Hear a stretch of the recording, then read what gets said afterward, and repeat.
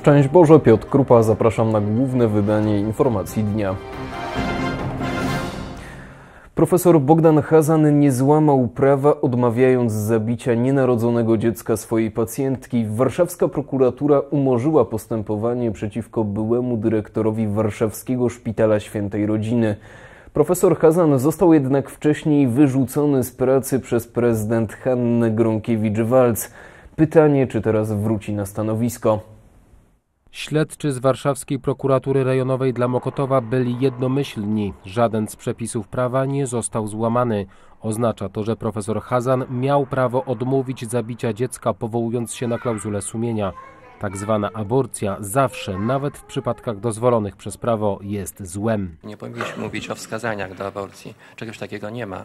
Wskazania mogą być do operacji wyrostka robaczkowego, ale nie ma wskazań do, do diagnostyki prenatalnej, nie ma wskazań do aborcji. Są tylko okoliczności, w obecności których wykonanie, wykonanie aborcji nie pociągnie za sobą ukarania lekarza. Prokuratorskie śledztwo dotyczyło domniemanego narażenia pacjentki na niebezpieczeństwo utraty życia lub ciężkiego uszczerbku na zdrowiu.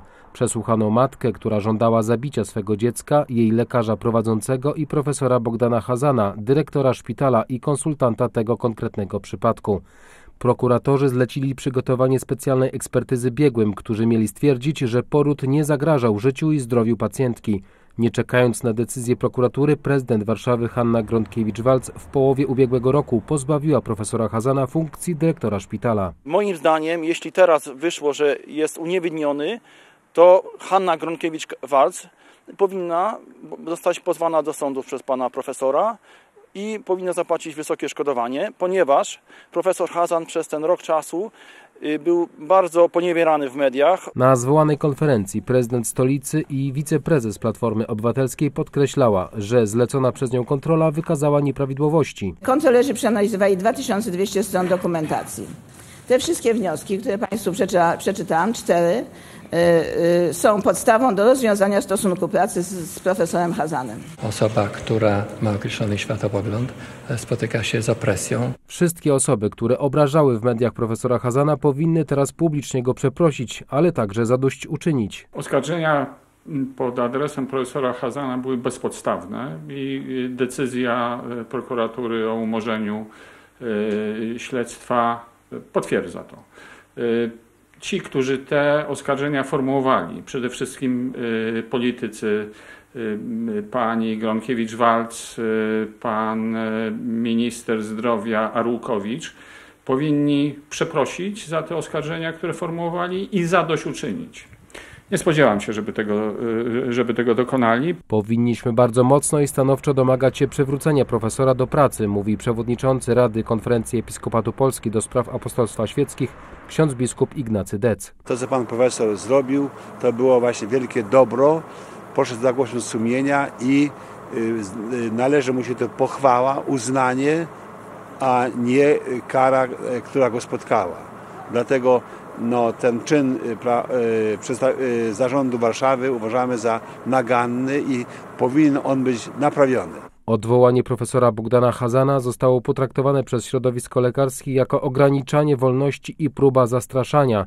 Atak medialny i polityczny miał na celu łamanie lekarskich sumień. Żeby wszyscy lekarze w Polsce dowiedzieli się, że nie ma żadnego przymusu zabijania, że to, co panna, pani Hanna Gronkiewicz-Walc próbowała zrobić w Warszawie, zastraszyć lekarzy, żeby zadać temu kres, tak? I żebyśmy, żeby wszyscy lekarze się dowiedzieli, że ich sumienie jest chronione. Dziesięcioletnie zarządzanie szpitalem profesora Hazana dało widoczne efekty. Nowe oddziały, wyremontowane stare budynki, przyjazna atmosfera, duża liczba odebranych porodów i to często bardzo trudnych, a także bezpieczeństwo pacjentek, które w czasach dla profesora najtrudniejszych przyszły pod szpital, aby zaprotestować przeciwko prześladowaniu, którego doświadczał. Do wyborów zostało 10 dni. Sztaby wyborcze i kandydaci zwierają szeregi walcząc o każdy głos. Obecny prezydent Bronisław Komorowski korzysta z kulminacji świąt państwowych, aby spotykać się z wyborcami. Z kolei jego główny kontrkandydat Andrzej Duda zajął się dziś problemami polskich pracowników. Każdy kolejny sondaż przedwyborczy pokazuje, że poparcie obecnego prezydenta mocno spada. Nie dziwią zatem nerwowe reakcje kandydata Platformy Obywatelskiej na wszelką krytykę, z jaką spotyka się w czasie spotkań z wyborcami. Proszę sobie wyobrazić, wygranie przez moich konkurentów. Tacy ludzie będą wchodzili do Pałacu Prezydenckiego. Taci ludzie będą budowali wizerunek naszej ojczyzny na zewnątrz. Tacy awanturnicy, tacy przeciwnicy zgody. Nie ma na to naszej zgody.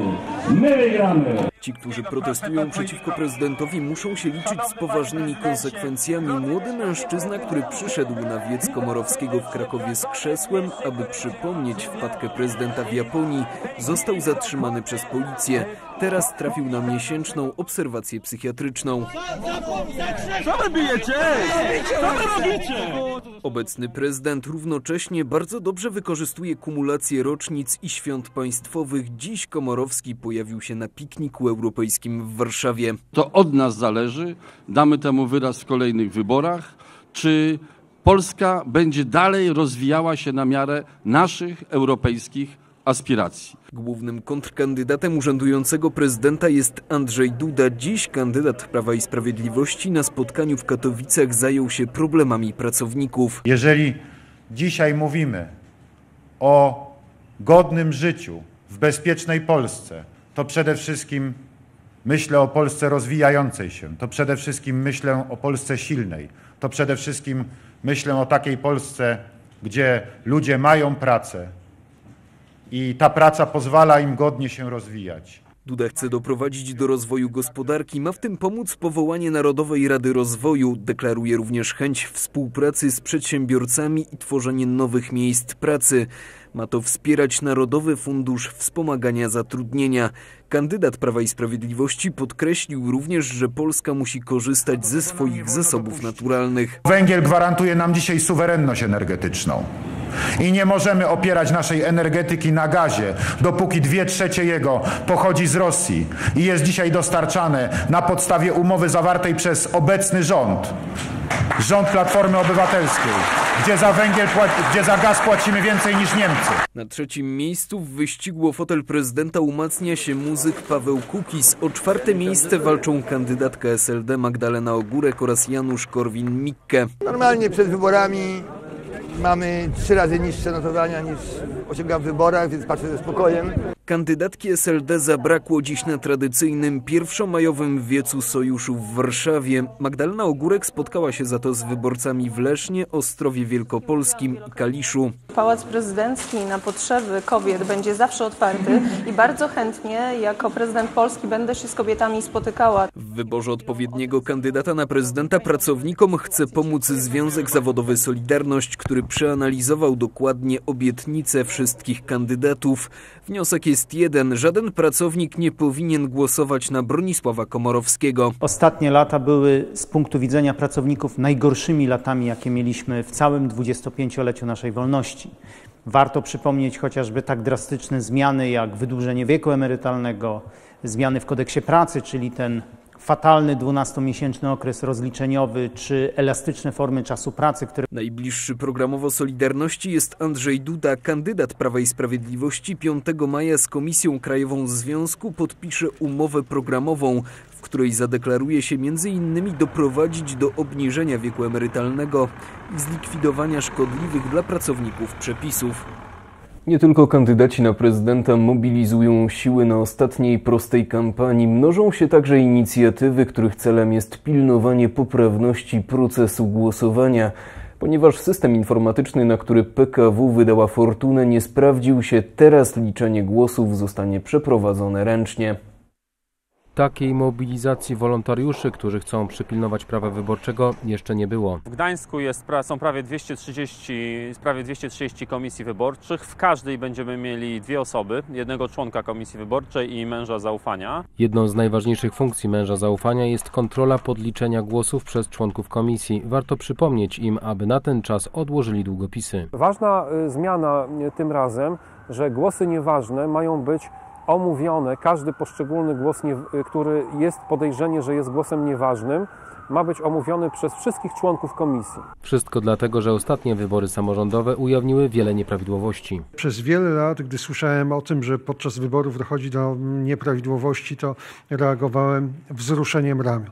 Ale podczas wyborów samorządowych przekonaliśmy się, jak gigantyczna jest skala nieprawidłowości. Politycy Zjednoczonej Prawicy przygotowali specjalną aplikację na telefony i tablety, dzięki której w prosty sposób będzie można wysłać na specjalny serwer szczegółową informację ze zdjęciem o nadużyciach wyborczych. Możemy zgłosić nadużycie wyborcze po kliknięciu. Yy, kategorie, yy, numer Komisji Wyborczej Województwo, Powiat, Miasto. Państwowa Komisja Wyborcza opublikowała wytyczne, którymi mają się kierować komisje wyborcze. Ruch kontroli wyborów domaga się ich zmiany, gdyż wiele regulacji może ułatwiać manipulowanie przy głosach. Najwięcej kontrowersji budzi przechowywanie w urzędach samorządowych przez 7 dni do chwili wyborów głosów przesłanych korespondencyjnie. Do których to głosów będą mieli tylko urzędnicy tego, tego miasta dostęp nie mają, te głosy przez 7 dni są poza wszelką kontrolą komisji wyborczych, obwodowych komisji wyborczych i poza wszelką kontrolą na przykład męża zaufania. Zdaniem ruchu kontroli wyborów nie można zatem wykluczyć podmiany tych głosów. Kolejna sprawa to podpisanie protokołu końcowego tylko przez tych członków, którzy uczestniczyli w jego przygotowaniu. Czy może to oznaczać, że niektórzy członkowie komisji nie będą musieli uczestniczyć w przygotowaniu protokołu?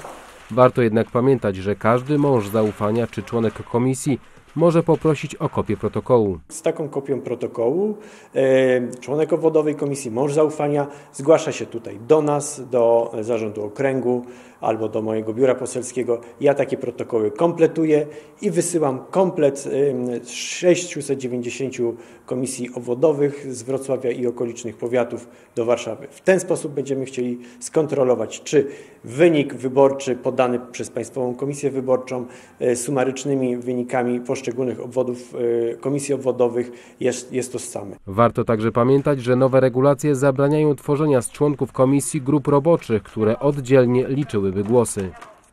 1 maja wspominamy świętego Józefa Rzemieślnika, patrona ludzi pracy. Dziś do sanktuarium świętego Józefa w Kaliszu przybyła 23. ogólnopolska pielgrzymka robotników. Święty Józefie, wspomagaj robotników w ich twardym bycie codziennym. Pod tym hasłem do sanktuarium świętego Józefa z całej Polski przybyli dziś górnicy, hutnicy, stoczniowcy, marynarze i energetycy zrzeszeni w NSZZ Solidarność. Uczestnicy 23. ogólnopolskiej pielgrzymki ludzi pracy dziękowali za całoroczną opiekę świętego Józefa, który jest ich patronem. Prosili także o wstawiennictwo błogosławionego księdza Jerzego Popiełuszki, kapelana Solidarności, którego relikwie, ampułkę z krwią uroczyście wprowadzono dziś do bazyliki. Centralnym punktem uroczystości była Eucharystia, której przewodniczył ksiądz biskup Edward Janiak, pasterz diecezji kaliskiej. 23. pielgrzymce robotników do świętego Józefa w Kaliszu towarzyszyła dziewiąta pielgrzymka pracodawców i przedsiębiorców. Co najmniej 6300 zabitych i prawie 14 tysięcy rannych to najnowszy bilans trzęsienia ziemi w Nepalu. Odbudowa zniszczeń będzie kosztować co najmniej 2 miliardy dolarów. Według szacunków nepalskich władz odbudowa zniszczonej infrastruktury będzie kosztowała co najmniej 2 miliardy dolarów, czyli 10% PKB kraju. Nepal należy do najbiedniejszych państw świata. Największe szkody kataklizm spowodował w stolicy, w Katmandu. Zniszczone są budynki, drogi, linie energetyczne, brakuje żywności, wody pitnej i leków. Rząd dziś nie rozdaje żadnej pomocy. Uprzejme kraje nam pomagają i to jest dobra rzecz, ale nie dostaliśmy tej pomocy za pośrednictwem rządu. Kilka dni po trzęsieniu ziemi nie dostaliśmy namiotów, nie zapewniono nam leczenia. W przepełnionych szpitalach brakuje leków, środków opatrunkowych i strzykawek. Wyzwaniem jest przestrzeń. Potrzebujemy więcej miejsca, potrzebujemy sprzętu, implantów jednorazowych, fartuchów i zasłon. Czekamy na wiele antybiotyków. W okolicy panuje tragiczna sytuacja sanitarna. Jest wysokie ryzyko epidemii, ponieważ środowisko zostało zanieczyszczone i ludzie nie mają dostępu do czystej wody. Chociaż rząd dał im lekarstwa, to wielu z nich nie wie, jak je prawidłowo zażywać. Na pomoc wciąż czekają mieszkańcy górskich wiosek i miasteczek. Trudno tam dotrzeć z powodu zniszczonych dróg. Nasze domy to ruiny, wszystkie ubrania i jedzenie zasypał gruz. Inni członkowie rodziny nie mogą wrócić do naszej miejscowości, bo drogi są w strasznym stanie. Nasza sytuacja jest bardzo trudna. Brakuje nam jedzenia. Nie wiem, co będzie jutro. W pomoc dla poszkodowanych włącza się m.in. papieskie Stowarzyszenie Pomoc Kościołowi w Potrzebie.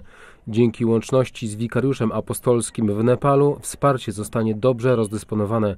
Każdy, kto chciałby włączyć się w tą akcję, może szukać szczegółów na stronie www.pkwp.org.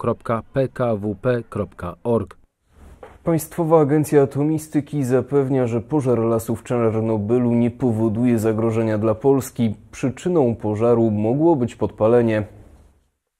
Pożar wybuchł w poniedziałek i objął 400 hektarów lasów. Ogień zbliżył się na odległość 20 hektarów od elektrowni atomowej, gdzie w 1986 roku doszło do eksplozji. Strażakom udało się opanować sytuację. Ukraiński resort do spraw sytuacji nadzwyczajnych poinformował, że poziom promieniowania w strefie czarnobylskiej nie uległ zmianie. Również Państwowa Agencja Atomistyki zapewnia, że pożar lasów wokół elektrowni jądrowej w Czarnobylu nie powoduje zagrożenia radiacyjnego dla Polski i jej mieszkańców. Po raz pierwszy w szkole podstawowej imienia Królowej Korony Polskiej w Kłodnem odbył się konkurs recytatorski poświęcony kobietom z niemieckiego obozu koncentracyjnego w Ravensbrück. Patronem honorowym konkursu była jedna z więźniarek niemieckiego obozu, dr Wanda Półtawska. Szkoła podstawowa imienia Królowej Korony Polskiej w Kłodnem. To właśnie tu odbył się wczoraj wojewódzki konkurs recytatorski Ravensbrück. Przecież nie byłyśmy królikami doświadczalnymi. Byłyśmy ludźmi. Ale nazwa Kaninsen przylgnęła do nas mocno. W konkursie wzięło udział około 50 uczestników z 38 szkół gimnazjalnych i ponadgimnazjalnych. Właśnie po to, żeby młodzież y, sięgając po, y, po poezję, po prozę tą lagrową, szukała odpowiedzi na swoje życie, żeby umiała odszukiwać w swoim życiu wartości patriotyczne. Podkreśla dyrektor placówki Roman Ciesielczyk. Konkurs zbiegł się z 70. rocznicą wyzwolenia obozu koncentracyjnego dla kobiet w niemieckim Ravensbrück. Przez wiele lat w Polsce ten obóz był jakby zapomniany.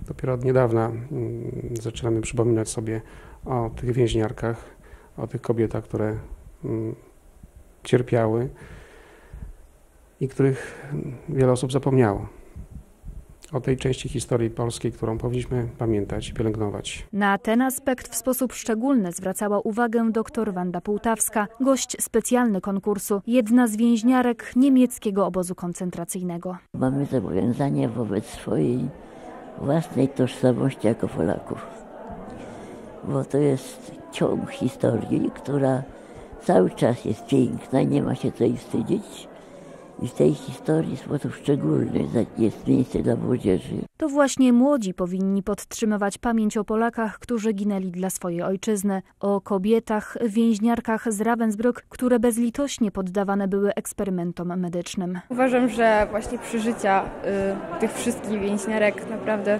no to jest coś, o czym nie powinniśmy zapomnieć także w dzisiejszych czasach i dlatego właśnie się zdecydowałam wziąć udział. Co jak przyznają uczestnicy, było nie lada wyzwaniem. Było mi się dość ciężko przygotować do tego tekstu. Miałem dość dużo prób, dużo godzin na to poświęciłem. Myślę, że nie, że nie wpada najgorzej. Jury oceniało występ rozpatrując zarówno dobór repertuaru, interpretację, kulturę mowy, a także ogólny wyraz artystyczny. Na wszystkich uczestników konkursu czekały nagrody. Jednak ważniejsze, jak zaznaczył dyrektor szkoły Roman Ciesielczyk, z pewnością były te wartości ponadmaterialne, które młodzież wyniosła z konkursu. To wszystko w tym wydaniu informacji dnia. Dziękuję za uwagę. Na kolejne zapraszam tuż po apelu jasnogórskim. Do zobaczenia z Panem Bogiem.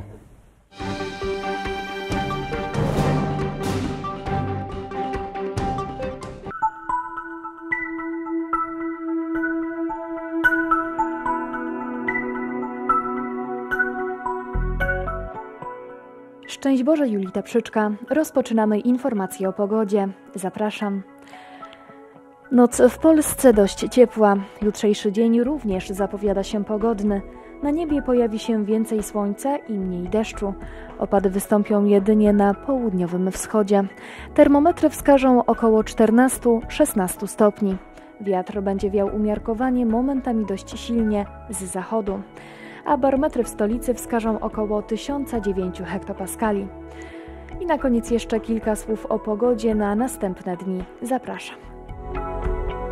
Niedziela na przeważającym obszarze kraju zapowiada się pogodnie i bez opadów. Na termometrach dość wysokie wartości temperatury od 12 do 19 stopni. Wiatr słaby ze zmiennych kierunków.